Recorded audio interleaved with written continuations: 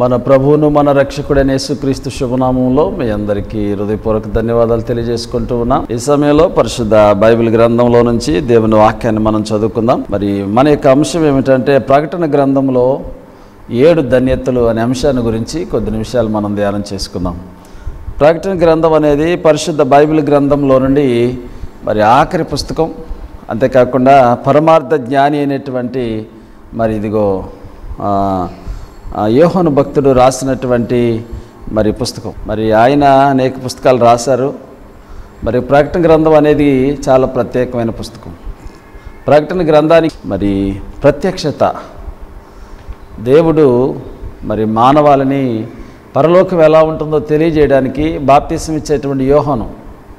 మరి ఈ యోహన్ అని మీరు అనుకుంటారు. కానీ ఈ యోహన్ బాప్తీసం ఇచ్చే యోహన్ కాదండి. బైబిల్ గ్రంథంలో ఐదు ఐదుగురు యోహన్ అనే పేర్లు కలిగిన వారు ఉన్నారు కాబట్టి ఈయన ఎవరంటే యేసు ప్రభు యొక్క శిష్యుడైన యోహోను. యేసు ప్రభు యొక్క శిష్యుడిన. ఈయన మరి ఈయన గారు యోహోను సువార్త రాశాడు. యోహోను మూడు పత్రికలు రాశాడు. మరి అంతేకాకుండా చివరిగా ప్రకటన గ్రంథాన్ని కూడా రాశాడు. మరి ఈయన గారు మరి ఈ నాలుగు ఈయన చేత విరాచితమైన రచించాడు. ప్రభునంద ప్రియులరా మరి దేవుని యొక్క వాక్యాన్ని మనం చూస్తే ప్రకటన గ్రంథం మొదట అధ్యాయం మొదట వచనంలో యేసుక్రీస్తు తన దాసులకు కనపరచుటకు దేవుడు ఆయనకు అనుగ్రహించిన ప్రత్యక్షత ప్రత్యక్షత ప్రత్యక్షంగా పరలోకంలో ఉన్న సంగతులను జరగబోయే సంగతులను ఈ ప్రపంచం యొక్క భవిష్యత్తును గురించి చాలా చక్కగా మరి ఈయన గారు రాశారు. ఎలాంటి పరిస్థితులు అక్కడికి వెళ్ళాడని మనం ఒకసారి ఆలోచన చేస్తే మరి ఏపీఎస్సి సంఘంలో గొప్ప దేవుని సేవ జరిగిస్తూ ఉన్నప్పుడు మరి అక్కడ ఉన్నటువంటి డొమోషియన్ అనే చక్రవర్తి కాలంలో సువార్త ప్రకటించకూడదు అని మరి ఒక ఆజ్ఞ జారీ చేయబడింది. ఈ డొమోషియన్ అనే చక్రవర్తి ఆదివారం దేవుని ఆరాధిస్తున్నందుకు మరి వద్దు అని చెప్తే యేసుక్రీస్తు దేవుడని ప్రకటించడాన్ని బట్టి ఏసే క్రీస్తుని ప్రకటించడాన్ని బట్టి ఈయన గారిని మరి పద్మాసు ద్వీపంలోనికి ఆయన పంపించారు. ఈ పద్మాసు ద్వీపంలో చుట్టూ కూడా నీరుంటుంది. మరి అక్కడ మధ్యలో భూమి ఉంటుంది. దానికి సుమారుగా తొమ్మిది అడుగులు సముద్ర మట్టము అడుగులో ఉంటాడు. తొంభై అడుగులు. మరి అక్కడ మరి భయంకరమైనటువంటి క్రూయల్ యానిమల్స్ మరి భయంకరమైనటువంటి క్రూయల్ ఇన్సెక్ట్స్ మరి భయంకరమైనటువంటి క్రిమికీటకాలు అనేటువంటివి ఉంటాయి ఉన్నాయి. మరి స్నేక్స్ ఉన్నాయి పాములు ఉన్నాయి కాలజేరులు ఉన్నాయి మండ్రగబ్బాలు ఉన్నాయి. మరి భయంకరమైనటువంటివన్నీ కూడా ఉన్నాయి. వాటి మధ్యలో ఈయన వేశారు పారిపోదాం అనుకుంటే చుట్టూ కూడా మరి కరెంట్ షాక్ కొట్టే విధంగా భయంకరమన్నీ కూడా అనిపి పెట్టుంటారు. మరి ఇదిగో దూకడానికి సముద్రం తప్ప వేరొక మార్గం లేదు. ఇతను బ్రతికాలం అంతా అక్కడే ఉండాలనేదే వాళ్ళ యొక్క ఉద్దేశం. మరి అక్కడ మరి ఆయన సరసాలలాగా వెళ్ళినప్పటికీ కూడా మరి దేవుడు దాన్ని పరలోక పర్ణశాలగా మార్చేశాడు. మరి ఆత్మవశుడై ఉండగా దేవుడు ఆయన దర్శించి మరి అనేకమైన సంగతులు తెలియజేశారు. ప్రపంచంలో జరగబోయే సంఘటనలన్నీ కూడా ప్రకటన గ్రంథంలో మనం వింటాం. కంప్యూటర్ పరిపాలన గురించి అంత్యక్రీస్తు గురించి మరి ఇదిగో ప్రపంచ నియంత ఏ విధంగా వస్తాడు దేవుని రాకడ ఎప్పుడు జరుగుతుంది మరి రాకడ తర్వాత జరిగే సంఘటనలు పరలోకంలో జరిగే సంఘటనలు ఏడు బోరల శ్రమలు ఏడు ముద్రల గురించి ఈ విధంగా ప్రకటన గ్రంథంలో అనేకమైన విషయాలు మనం చూస్తూ ఉంటాం. దేవుని బిళ్ళారా మరి ముఖ్యంగా ప్రకటన గ్రంథంలో మొదటిగా మనం చూసినట్లయితే ప్రకటన గ్రంథము మొదటి అధ్యాయము మూడవ వచనాన్ని మనం చదువుకుంటాం. సమయము సమీపించినది గనక ఈ ప్రవచన వాక్యములో చదువువాడును వాటిని విని ఇందులో రాయబడిన సంగతులను గైకొని వారు ధన్యులు అంటున్నాడు. ప్రియులారా ఈ ప్రవచన వాక్యాలు అంటున్నాడు. ప్రకటన గ్రంథం అందరికీ అర్థమయ్యే పరిస్థితి కాదు. ప్రకటన గ్రంథాన్ని అందుకే అందరూ బోధించరు. దాని జోలికి వెళ్ళరు. వెళ్ళపోవడానికి రెండు కారణాలు ఉన్నాయి. ఒకటి అది అలంకార భాషలో రాయబడిందని నమ్ముతారు. దేవుడు అది అలంకారంగా చూపించాడని నమ్ముతారు. మరికొంతమంది ఇవి ప్రవచన వాక్యాలని నమ్ముతారు. మరికొంతమంది ఇది అర్థం చేసుకోవడానికి చాలా కష్టం కనుక దాని జోలికి వెళ్ళడం మంచిది కాదని అంటారు. ప్రభునందు ప్రియులరా ఏదేమైనా ప్రకటన గ్రంథం చాలా అద్భుతమైన గ్రంథం. ప్రకటన గ్రంథాన్ని నేను చదువుతున్నప్పుడు మరి స్వయంగా సాతానుడు ఆ రాత్రి కలలో నాతో మాట్లాడాడు. నీ దగ్గర ధైర్యం ఉంటే ప్రకటన గ్రంథంలో ఆరు అధ్యాయాలు కదలకుండా చదవమని చెప్పాడు. అప్పుడు నేను ఒక రోజు చదువుతా ఉన్నాను అనమాట ఇది సైతాన్ లాగా ఉన్నాడు ఇలా చెప్పాడని నేను ఐదు అధ్యాయాలు చదివేశాను. ఆరో అధ్యాయం సగం చదివినాక మా నాన్నగారు పిలిచి పని ఉంది వేరే చోటకి వెళ్ళమని చెప్పారు. నేను వెళ్ళనని చెప్పారు. వెళ్ళకపోతే కుదరదన్నాడు మొత్తం మీద దాన్ని పూర్తి చేయలేకపోయాను. అలా ఒకరోజు ప్రకటన గ్రంథాన్ని గురించి నేను బోధిస్తున్నప్పుడు ఒక చోట ఇంటికి వచ్చిన తర్వాత సాతారుడు మాట్లాడాడు నేను మీ జోలికి రావట్లేదు కదా మీరెందుకు నా జోలికి వస్తున్నారు? ఎన్నో వాక్యాలు ఉండగా సైతానుడని అని నా గురించి ఎందుకు చెప్తున్నారని అపవాది ఆ రాత్రి నాతో మాట్లాడాడు. నేను అప్పుడు నమ్మాను అప్పుడు దాకా అపవాది ఉన్నాడని సైతానుడు ఉన్నాడని వింటున్నాను కానీ వారి యొక్క పరిస్థితులు అప్పటి నుంచి నేను వాడి ఉనికిని గమనించడం జరిగింది. మీరు కూడా దేవుని బిడ్డలు అయితే దేవుని పిల్లలైతే సాతాను తంత్రాలను ఎరిగిన వారంగా ఉండాలి. అపవాది యొక్క ఉనికి అపవాది యొక్క నీడ అపవాది యొక్క వాడు సులువుగా చిక్కులు పెట్టేటువంటి వాడి పరిస్థితులను మనం గమనిస్తే ఈజీగా వాటిలో నుంచి మనం బయటికి రాగలమనే విషయాన్ని గుర్తుంచుకుందాం. మొదటిగా ఇవి ప్రవచన వాక్యాలు. ప్రవచనం ఎప్పుడు కూడా మానవుని యొక్క సొంత ఆలోచనలోంచి పుట్టింది కాదు ప్రవచనం అనేది దేవుని యొద్ద నుండి వచ్చింది. ఆత్మావేశం వల్ల కలిగిన లేఖనాలు ఇవన్నీ కూడా. అందుకే ఈ ప్రవచన వాక్యములు ఇవి ప్రోపసి ప్రవచనం ఈ ప్రవచన వాక్యాలు ప్రోపసి వర్డ్స్ దేవుని బిళ్ళారా అనేక మంది ప్రవచిస్తూ ఉంటారు దేవుని బిళ్ళారా మీరు గమనిస్తే రకరకాల ప్రవచనాలు ఉన్నాయి లోకంలో. మంచి ప్రవచనాలు ఉన్నాయి దొంగ ప్రవచనాలు కూడా ఉన్నాయి. ఎందుకనంటే మరి మా సోదరుడు నేను కలిసి ఒకసారి ఒక ఆమె ప్రార్థన చేస్తుందంటే అక్కడికి వెళ్ళాం. ఆమె ప్రవచించింది కదా. మీ నాన్నగారిని నేను స్వస్థపరుస్తున్నాను అంది. అప్పటికి వాళ్ళ నాన్నగారు చనిపోయి రెండు సంవత్సరాలు అయింది అనవసరమైన సబ్జెక్ట్ అనమాట ఒక బోధకుడు మేము తీసుకొచ్చాం. నార్త్ ఇండియా నుండి మా సభలకు తీసుకొచ్చాం. తీసుకొస్తే ఆయన మా సంఘంలోని ఒక అమ్మాయికి ప్రార్థన చేసి నీకు సంతానం కలగజేస్తానని దేవుడు చెప్తున్నాడు. మరి నీవు దశం భాగం ఇవ్వటం లేదని చెప్తున్నాడు అంటే సంఘంలో ఎక్కువ దశం భాగం ఇచ్చేది ఆమె. ఆమెకు అప్పటికే ఇద్దరు పిల్లలు. కాబట్టి అబద్ధ ప్రవచనాలు కూడా ఉన్నాయి. అబద్ధ ప్రవక్తలు ఉన్నారు. అబద్ధ ప్రవచనాలు ఉన్నారు. All that glitters is not gold అన్నాడు షేక్స్పియర్ అనే మహాకవి. మెరిసేదంతా కూడా బంగారం కాదు. పిచ్చ బంగారం ఉంటుంది గోల్డ్ కవరింగ్ ఉంటుంది ఒరిజినల్ బంగారం ఉంటుంది కేడిఎం బంగారం కూడా ఉంటుంది ప్రియులరా. దైవభక్తిలో అన్నీ దైవ చిత్తానుసారంగా ఏర్పాటు చేయబడినవి కావు. మనుషులు ఏర్పాటు చేసుకున్నవి ఉన్నాయి. దేవుడు ఏర్పాటు చేసింది ఉంది. సైతనుడు ఏర్పాటు చేసిన వాళ్ళు కూడా ఉన్నారు. సాతాను సమాజం వారు కూడా ఉన్నారనే ప్రజ్ఞ గ్రంథంలో బోధిస్తూ ఉన్నాడు. సాతాను సమాజం వారు వచ్చి నీ దగ్గర కాళ్ళ మీద పడతారని చెప్పాడు కదా. కాబట్టి ప్రియులారా లోకములు అన్నీ చూసి అంతా ఒకటేలు అనుకుంటే భ్రమపడితే మోసపోతావు. నిత్య నరకాగ్నికి వెళ్ళిపోతావు. ఏది సత్యమో ఏది నిత్యమో తెలుసుకోవాలి. దేవుని పక్షంగా నిలబడాలి. శ్రమైన కష్టమైన దేవుని కొరకు నిలబడి దైవ సిత్తాన్ని దైవ నీతిని దైవ ప్రణాళికను జరగడానికి నీవు కారణభూతులు కావాలి. నీ కుటుంబం ఒకటైన పర్లా దేవుని కొరకు నిలబడితే ఎంత మేలు. భూలోకంలో భయంకరమైన దినాల్లో మనం ఉంటున్నాం ప్రియమైన సహోదరి సహోదరుడా. ఈ ప్రవచన వాక్యంలో చదువువాడు ధన్యుడు. విని మరి వాటిని గైకొని వారు కూడా ధన్యులని చెప్తా ఉన్నాడు. దేవుని వాక్యం చదవట్లే ఈ రోజుల్లో. అసలు చదివే వాళ్ళు తక్కువైపోయారు ఈ యొక్క సెల్ ఫోన్ వచ్చిన తర్వాత దేవుని యొక్క గ్రంథాన్నే మొయ్యలేని పరిస్థితి వచ్చింది. సెల్ ఫోన్లోనే వాక్యం చూస్తూ ఉన్నారు. మంచిదే కాదని అంటలేదు కానీ దేవుని యొక్క వాక్యం అనేది చదవాలి. అందులో అద్భుతమైన మాటలు నువ్వు టిక్ చేసుకోవాలి గుర్తుంచుకోవాలి. ఇది సత్యవేద గ్రంథం. దీనికోసం అనేక మంది ప్రాణాలు పెట్టారు. ఇది వాగ్దానాల గ్రంథం. ఇది వరదానాల గ్రంథం. ఇది నేను దీవించే గ్రంథం. నీ జీవితాన్ని మార్చే గ్రంథం. అమెరికా దేశానికి ప్రెసిడెంట్ అయినటువంటి మరి ఆయన అబ్రహం లింకన్ గారు చెప్పారు పరిశుద్ధ గ్రంథమైన బైబిలే లేకపోతే మంచేదో చెడేదో ప్రపంచానికి తెలిసి ఉండేది కాదని చెప్పాడు. జాన్ కెనడీ చెప్పాడు బైబిల్ గ్రంథము దిక్చూచి లాంటిది. మనం సరైన డైరెక్షన్లో వెళుతున్నావా లేదా? నా సంఘం డైరెక్షన్లో వెళుతుందా? బైబిల్ ప్రకారంగా లేదా అని చూపించే దిక్షుస్ అని చెప్పాడు. దేవుని బిళ్ళారా మరి ఈ విధంగా ప్రపంచంలో అనేక మంది చెప్పారు. పరిశుద్ధ బైబిల్ గ్రంథం యొక్క ఆధిక్యతను గురించి. ఈరోజు దేవుని సంఘానికి వెళుతున్నావు దేవుని వాక్యం వింటున్నావు ఆహా ఓహో అంటున్నావు కానీ దేవుని వాక్యాన్ని ఎందుకు చదవలేకపోతున్నావు? వాక్యం చదువువారు ధన్యులని వాక్యం బోధిస్తూ ఉంది. గైకొని వారు ధన్యులని చెప్తా ఉన్నాడు.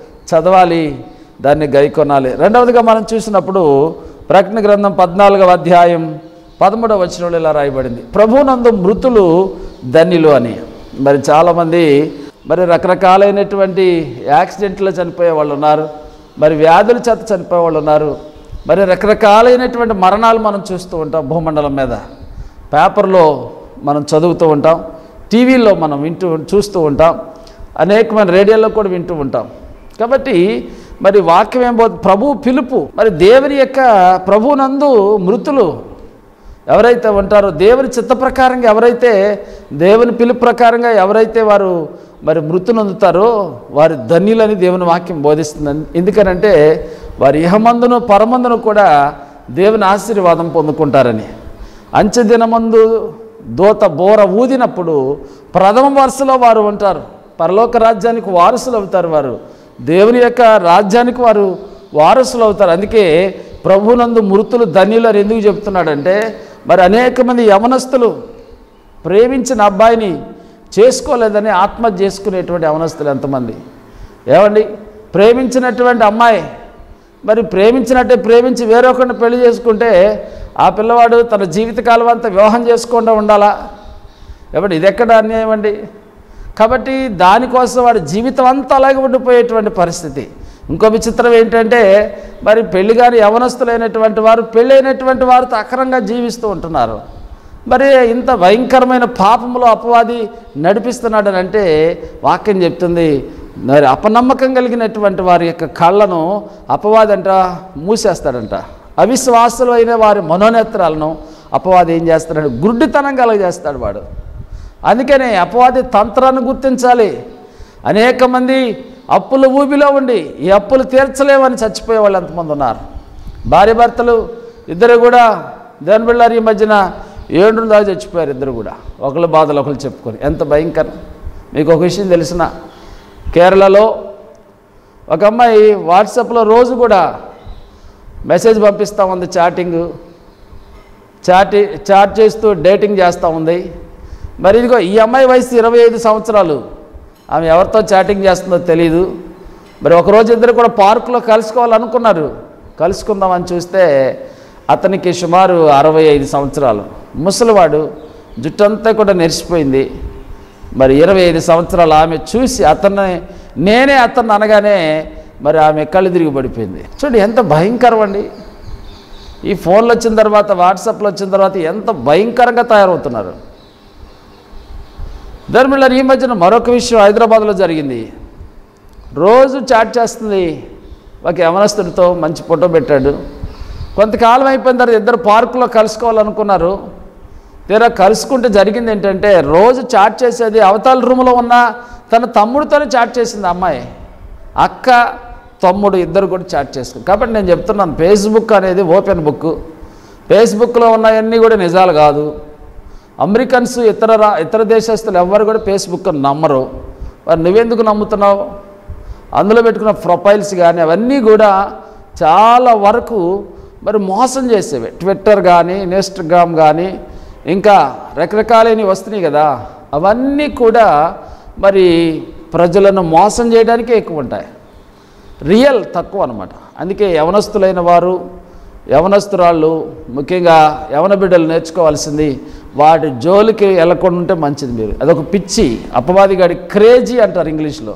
పిచ్చి పిచ్చి ముదిరిపోయి మరి ఇప్పుడు పబ్జి గేమ్లు ఆడి ఆడి ఆడి ఒకడు మైండ్ పని చేయట్లేదట. మన ఈ మధ్యన చెప్పారు. కాబట్టి ఇలా బానిస అయిపోతా ఉన్నాడు. ఒకప్పుడు పాపానికి బానిస అయ్యేటువంటి యవనస్తులు ఇప్పుడు టీవీలకు బానిస అయ్యేటువంటి వారు సెల్ ఫోన్లకు ఆండ్రాయిడ్ ఫోన్లకు బానిసలు అయిపోయి వారి విలువైన సమయం చదవకుండా కష్టపడకుండా రాయకుండా ఎవడు పాస్ చేస్తారండి? కాబట్టి ప్రియులరా వీటికి బానిసలు అయిపోతున్నారు చివరికి ఆత్మహత్య చేసి చచ్చిపోతున్నారు. మరణిస్తున్నారు. అందుకే ప్రభునందు మృతులు మాత్రమే ధన్యులు అని చెప్పాడు. మూడవదిగా మనం చూసినప్పుడు ప్రకటన గ్రంథం పదహారవ అధ్యాయం పదిహేను వచ్చినాన్ని మీరు చూస్తే మెలుకువగా ఉండి తమ వస్త్రమును కాపాడుకునేవాడు ధన్యుడు అంటున్నాడు. మరి మెలకు అనేటువంటిది రెండు రకాలు. దేవుని బిడ్డలారా ఒక ఊరిలో మీటింగ్ జరుగుతూ ఉందట. తన భార్య చెప్పింది మూడు రోజుల నుంచి మీటింగ్ జరుగుతుంది. కనీసం ఆఖరి రోజన్న వెళ్ళింది వాక్యం వినరమ్మని భర్తకి చెప్పి చెప్పింది నాలుగు మొక్కలు వినరావయ్యా అందట. వెళ్ళాడు. మొత్తం మీద వెళ్ళాడు. కొత్త దేవుడు అంటే తెలియదు. సభలు జరుగుతున్నాయి. అయ్యగారు చెప్పారు అందరు వచ్చారా అన్నారట.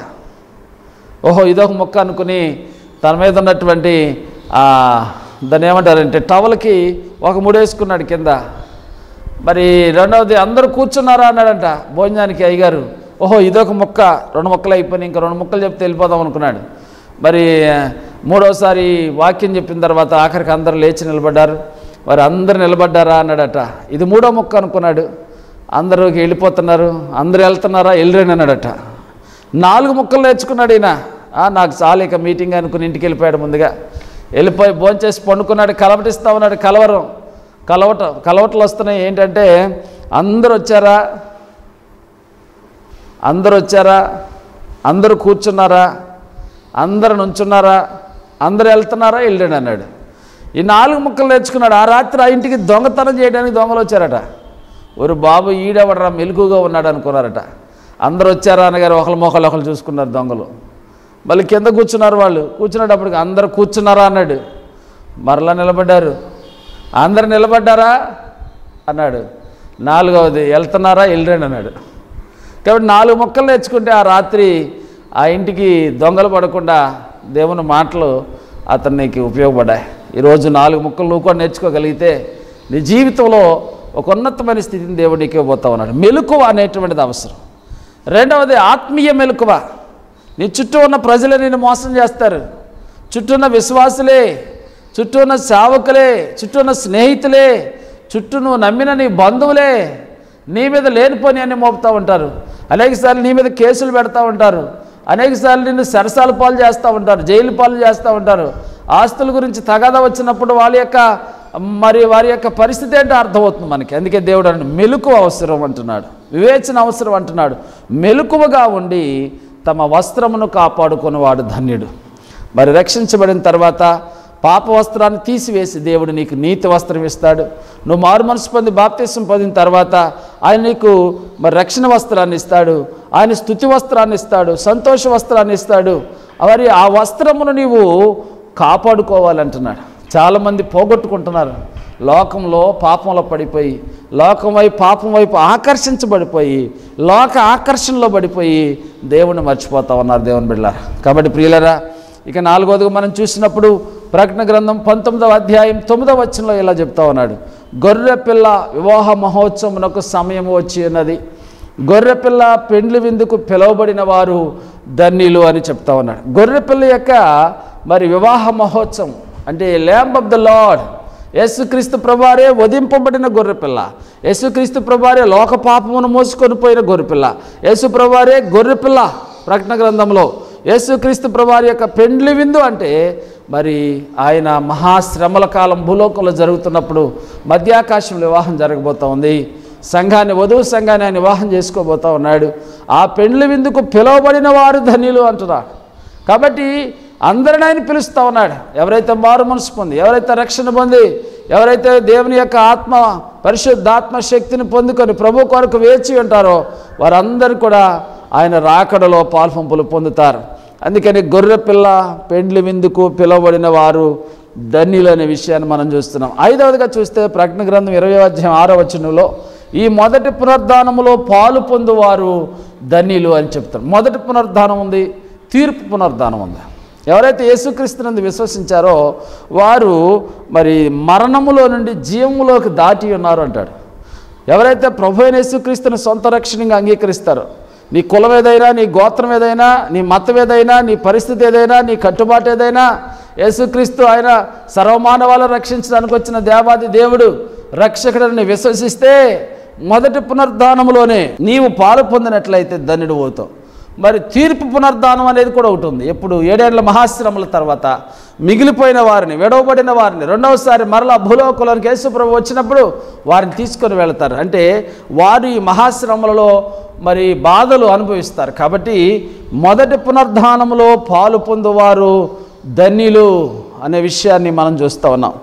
మరి ప్రకటన గ్రంథం ఇరవై రెండవ అధ్యాయం ఏడవ వచ్చిన చదివితే ఈ గ్రంథంలోని ప్రవచన వాక్యములను గైకొనివాడు ధన్యుడు అని చెప్తా ఉన్నాడు. మరి ఈ గ్రంథంలో ఇవన్నీ కూడా ప్రవచన వాక్యాలు. దీనికి వేరొకటి కలపడానికి లేదు తీసివేయడానికి లేదు. నాకు దేవుడు ఇలా చెప్పాడండి ఇలా చూపించాడండి అది బైబిల్లో లేదండి కానీ ఇంకా ఎక్కడో రాయబడిందండి. ఒక దాన్ని కలపడానికి కానీ ఒకదాన్ని తీసివేయడానికి కానీ లేదు. ఎందుకంటే ప్రకటన గ్రంథం ఆఖరి అధ్యాయంలో ఈ మాట చెప్పాడు. ప్రకటన గ్రంథంలో మీరు గమనిస్తే ఇరవై రెండవ అధ్యాయంలో ఈ సంగతులు విశ్వసించేవాడు గురించి ఒక మాట చెప్పాడు. ఏమంటున్నాడండి? మీరు గమనిస్తే మీరు గమనించిన పద్దెనిమిదవ వచనం ఇరవై రెండు పద్దెనిమిది. ఈ గ్రంథం అందున్న ప్రవచన వాక్యం లేని వానికి నేను సాక్ష్యం ఇచ్చినది ఏమనగా ఎవడైనా వీటితో ఏదే మరి ఏదైనా కలిపిన ఎడలా ఈ గ్రంథంలో రాయబడిన తెగుళ్ళు దేవుడు వాని కలగజేస్తారు. ఈ గ్రంథంలో ఒక అక్షరము కానీ ఒక పొల్లు కానీ కలపడానికి లేదు తీసివేయడానికి లేదు. దేవుడు దానికి ముద్ర వేశాడు. కాబట్టి ప్రభుత్వ mandate or Bible is mandate in Christian life. క్రైస్తవ జీవితానికి దేవుడు ఒక ముద్ర వేశాడు. దాన్ని ఇష్టం ఉన్నా లేకపోయినా దాన్ని పాటించాలి. దానికి వ్యతిరేకంగా వచ్చింది ఏదైనా కూడా అది అబద్ధపు గ్రంథం అవుతుంది. దానికి వ్యతిరేకంగా వచ్చింది ఏదైనా సరే అబద్ధ ప్రవచనం అవుతుంది. అందుకే ఈ గ్రంథములోని ప్రవచన వాక్యములు గైకొనవాడు ధన్యుడు అంట. దేవుని వాక్యాన్ని గైకుంటే నువ్వు ధన్యుడు అవుతావు ధన్యురాలు అవుతావు. నీకున్న దరిద్రతను దేవుడు విడిపిస్తాడు. నీవున్న కష్టాల నుంచి విడిపిస్తాడు. దేవుని బిళ్ళారా ఎందుకు నాకు ఈ కుటుంబం? ఎందుకు నాకు ఈ పిల్లలు? ఎందుకు నాకు ఈ భర్త? ఎందుకు నాకు ఈ శోధన అనుకుంటున్నావేమో? దేవుని వాక్యం ద్వారా దేవునితో మాట్లాడు. దేవుని వాక్యాన్ని గైకో గైకొనటం నేర్చుకో. దేవుని మాటకు లోబట్టం నేర్చుకో. దేవుని వాక్యాన్ని చదవటం నేర్చుకో. ఆ ప్రకారంగా జీవించడం నేర్చుకో. దేవుడే నీ అవసరతలను తీరుస్తాడు ఎందుకంటే ప్రభు చెప్పారు మొదట మీరు నా నీతిని నా రాజ్యాన్ని వెతకండి. అప్పుడు మీకు ఏది అవసరమో అడగండి. అవన్నీ మీకు అనుగ్రహించబడతాయి అని చెప్పారు. మొదట ఆయన నీతిని ఆయన రాజ్యాన్ని వెతకకుండా ఆయన చిత్తం చేయకుండా ఆయన పని చేయకుండా అది ఇది అడిగినందువల్ల నీకు ఉపయోగం ఏం కూడా లేదు ప్రియులారా. అదేవిధంగా ప్రకటన గ్రంథం ఇరవై రెండవ అధ్యాయం చివరిగా పద్నాలుగు వచ్చిన చదువుతాం. ఇరవై రెండు పద్నాలుగు తమ వస్త్రములను ఉదుక్కొని వారు ధన్యులు. చూడండి జీవవృక్షమునకు హక్కు గలవారై మరి వారు పరలోకంలో ప్రవేశిస్తారు. దేవుని వాక్యం చెప్తుందండి తమ వస్త్రములను ఉదుక్కొని వారు ధన్యులు అని. మరి ఎవరైతే జారిపోయారో పడిపోయారో తమ వస్త్రములను ఉదుక్కోవటం అంటే పాపం ఎడల పశ్చాత్తాపం కలిగి జీవించడం వారున్న సమస్యల నుంచి విడుదల పొందడం దేవుని వెళ్ళారా తిరిగి రెపెంటెన్స్ అనేది పశ్చాత్తాపం అనేది చేసినటువంటి అవిధేయతను దేవుని సన్నిధిలో ఒప్పుకొని విడిచిపెడతారో వారు ధన్యులు అనే విషయాన్ని మనం ఇక్కడ చదువుకుంటూ ఉన్నాం. దేవుని బిళ్ళరా దేవుని వాక్యాన్ని మరొకసారి చదువుకుంటాం మిగతా భాగంలో. మరి ఇదిగో ఎవరు దేవుని రాజ్యంలో ప్రవేశించరు ప్రవేశిస్తారో చెప్తూ ఉన్నాడు. మరి ఎవరైతే తమ వస్త్రమును ఉదుక్కుంటారో వారు పరలోక రాజ్యంలో ప్రవేశిస్తారట. కుక్కలను మాంత్రికులను వ్యభిచారులను నరహంతకులను విగ్రహారాధికులను అబద్ధమును ప్రేమించి జరిగించు ప్రతివాడు వెలుపట ఉంటారని చెప్తున్నాడు. చూడండి కుక్కలు అంటున్నాడు మాంత్రికులు అంటున్నాడు. కుక్కలు అంటే కక్కిన దాన్ని తినే స్వభావం కలిగినవా? తర్వాత మాంత్రికులు మాంత్రిక విద్యను నేర్చుకున్నవారు. మరి చేతబడులు చేయించేవారు దేవుని బిడ్డల మీద. మరి రకరకాలైనటువంటి బాణమతి ప్రయోగాలు చేసేవాళ్ళు ఈ లోకంలో ఉన్నారు. దయ్యపు ఏజెంట్లు ఉన్నారు వీళ్ళంతా కూడా. మాంత్రికులు. దాని బిళ్ళారా అంతేకాదు మరి వ్యభిచారులు నరహంతకులు మరి నరహత్యలు జరిగించేవారు విగ్రహారాధికులు తర్వాత అబద్ధమును ప్రేమించి దాన్ని జరిగించు ప్రతివాడు కూడా వెలుపుటే ఉంటారు. కానీ తమ వస్త్రమును ఉదుక్కున్న వారు ధన్యులు అని చెప్తారు. కాబట్టి ఏడు ధన్యతలను గురించి ప్రకటన గ్రంథంలో మనం చూస్తున్నాం. మొదటిగా చూస్తే ఈ ప్రవచన వాక్యంలో చదువువాడు గైకొనవాడు ధన్యుడని మనం వింటా ఉన్నాం. రెండవదిగా మనం చూస్తే ప్రభునందు మృతులు ధన్యులని చూసాం. మూడవదిగా చూస్తే మెలుకుగా ఉండి తమ వస్త్రములను కాపాడుకున్నవాడు ధన్యుడని. నాలుగవదిగా గొర్రెపిల్ల పెండ్లి విందుకు పిలువబడిన వారు ధన్యులని. ఐదవదిగా ఈ మొదటి పునర్ధానంలో పాలు పొందువారు ధన్యులని. ఆరవదిగా ఈ గ్రంథములోని ప్రవచన వాక్యములను గైకొనవాడు ధన్యుడని. ఏడవదిగా తమ వస్త్రములను ఉదుక్కొని వారు ధన్యులని మనం వింటూ ఉన్నాం. కాబట్టి ప్రభునందు ప్రియులారా ఆయన ఎందు ఎవరు విశ్వాసం ఉంచుతారో ఆయన తమ సొంత రక్షణగా ఎవరు అంగీకరిస్తారో వారి జీవితాల్లో అద్భుతాలు మహత్కార్యాలు దేవుడు జరిగిస్తాడు. మా జీవితంలో కూడా దేవుడు ఎన్నో అద్భుతాలు మహత్కార్యాలు జరిగించాడు. తన మహాకృపను బట్టి కాలినడకన ప్రారంభించిన పరిచర్య కష్టంలో శ్రమలో ఇరుకులో ఇబ్బందుల్లో ప్రారంభించిన పరిచర్య ధర్మిళ్ళారు దేవుడు కాలినడకను ప్రారంభించిన ఈ పరిచర్య ఈరోజు కారులో ఆయన తిప్పుతూ ఉన్నాడు. ఇది కేవలం ఆయన కృప ఆయన దయ తప్ప మా యొక్క అతిశయం కాదు. మేము అతిశయించడానికి మా దగ్గర ఏం లేదు. ఆయన పిలుచుకున్నాడు ఏర్పాటు చేసుకున్నాడు. ప్రభు అంటే ఎవరో తెలియని రోజుల్లో దేవుడు అంటే ఏంటో తెలియని రోజుల్లో దేవుడే మమ్మల్ని దర్శించి ఆయన మాతో మాట్లాడి మమ్మల్ని ఏర్పాటు చేశాడు. దేవుని బిళ్ళారా అనేకమైన పరిస్థితులు కూడా నువ్వు ప్రయాణం చేస్తూ ఉండవచ్చు. దేవుని బిళ్ళారా నువ్వు భక్తులు అలసిపోయావేమో నాకు తెలియదు నీకున్న పరిస్థితులు నీకున్న ఇబ్బందులు ఇరుకులు ఇవన్నీ కూడా దేవుని మీద ప్రేమ లేకుండా చేసినాయేమో తెలియదు ఏది ఏమైనప్పటికీ సరే దేవుడు మరలా నిన్ను లేవనెత్తడానికి. దేవుడు తిరిగి తన గొప్ప ఆశీర్వాదాన్ని నీకు ఇవ్వడానికి తన మహిమ కార్యాలను నీ కుటుంబం పట్ల చూపించడానికి ప్రభు ఇష్టపడతా ఉన్నారు. నువ్వు ఇష్టపడినట్లయితే లోబడినట్లయితే ఈ ప్రార్థనలు ఏకీభవించు. దేవుడిని దీవిస్తాడు. God bless you. దేవుడిని దీవించును గాక. ప్రార్థన. సకల ఆశీర్వాదముల కారణభూతులైన తండ్రి దయగలిగిన అని నీ కొందనాలు స్తోత్రాలు చెల్లిస్తూ ఉన్నా. కూడిన బిడ్డలు ఈ టీవీ ప్రోగ్రాం చూస్తున్న వారిని దీవించి ఆశీర్వదించండి. మరి ప్రతి వారిని కూడా ప్రభా దీవించి ఆశీర్వదించండి. వారున్న కష్టాలు ఇరుకులు ఇబ్బందుల నుంచి విడుదల మీరు దయచేయండి. ప్రతి విషయంలో మీరు సహాయం చేసి నడిపించండి. అన్ని విషయాల్లో సహాయం చేసే దేవుడు. నీ వద్దకు వారిని ఎంత మాత్రం త్రోసివేసే దేవుడు కాదు. కుష్టి వ్యాధిగ్రస్తవాడు వస్తే త్రోసివేయలేదయ్యా. పాపం చేత పట్టబడిన స్త్రీ వస్తే త్రోసివేయలేదు ప్రభా. జక్కయ్య దగ్గరికి వస్తే త్రోసివేయలేదయ్యా. ప్రభా ఇదిగో తండ్రి ప్రతి ఒక్కరిని దర్శించండి. బలపరచండి. వారి వారి సమస్యలు అనారోగ్యాలు ఇబ్బందుల నుంచి విడుదల అనుగ్రహించండి ప్రభా. ఇప్పుడే వారిని దర్శించండి మాట్లాడండి వారి సమస్యల నుంచి విడుదల అనుగ్రహించండి అని మా ప్రభును రక్షకుడని యేసుక్రీస్తు పుణ్యనాములు అడిగి వేడుకుంటున్నాం తండ్రి. ఆమెన్. ప్రభునందు ప్రియులరా మరి దేవుని మహాకృపను బట్టి ఈ టీవీ ప్రోగ్రామ్స్ కల్వరి విజయం పరిచర్య నిరాటంకంగా సాగడానికి మరి ప్రభు మిమ్మల్ని ప్రేరేపించిన కొలది మరి అనేక మంది సహకరిస్తూ ఉన్నారు. మరి మీరును అందులో పాలుభాగస్తులు కావాలనంటే మరి దేవుడు మిమ్మల్ని ఆశీర్వదించాలనంటే తప్పనిసరిగా ఈ కార్యక్రమాల్లో మీ యొక్క వంతు సహాయం సహకారాలు అందించాలని కోరుతూ ఉన్నాం. మరి మీరు సంప్రదించవలసిన చిరునామా మనకి స్క్రీన్ మీద వస్తూ ఉంది. మరి మీరు దర్శించవచ్చు. దేవుడు మిమ్మల్ని దీవిస్తారు. మీరు ఏ కష్టంలో ఉన్నా ఇబ్బందుల్లో ఉన్నా సమస్యల్లో ఉన్నా మాకు తెలియజేస్తున్నారు కొంతమంది. మీరును తెలియజేయండి. తప్పనిసరిగా ఈ టీవీ మినిస్ట్రీ ద్వారా దేవుడు అనేకులకు సువార్త ఎరగని అనేక మందికి అనుజనాంగానికి సువార్త ప్రకటించడానికి యేసుక్రీస్తు ప్రభు నిజమైన దేవుడని ఆయనలో ఉన్న అద్భుతాల మహత్కార్యాలను గురించి మరి యేసు ప్రభు చేస్తున్న అద్భుతాల గురించి మరి మరి నిరాటంకంగా కొనసాగించబడలాగిన మరి మీరు ప్రార్థించవలసిందిగా కోరుతున్నాం. దేవుడు మిమ్మల్ని మీ కుటుంబాలను సమృద్ధిగా దీవించి ఆశీర్వదించునుగాక. ఆమెన్. God bless you. దేవుడు మిమ్మల్ని దీవించునుగాక.